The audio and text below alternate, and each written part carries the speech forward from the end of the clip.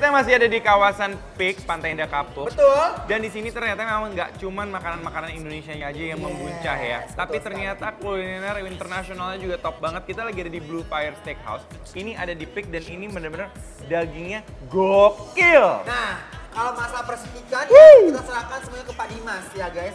Kita potong dulu ya guys. Ini ala bang sawan kalau lagi makan. Bon appetit. Bon appetit. Yuk. Bismillahirrahmanirrahim. Wow, dagingnya guys, juicy banget, beneran lembut parah. Ui, ui, ui.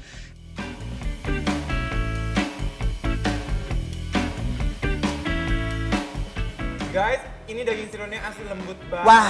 lembut banget dan aku masih suka karena justru masih ada tekstur dagingnya ya. Betul. Ini yang bikin dia semakin mantep banget. Dan mushroom sausnya, oh my guys, uy uy uy, endul. Jadi buat kalian yang suka banget makan steak, kalian cobain ke Blue Fire ini guys. Bener-bener ancaman, endol, surendol, tak endol, endol, munah. Top ini guys dagingnya. Uh. Langsung bergetar di bibir aku saat Wagyu ini meluncur ke mulut manja aku guys.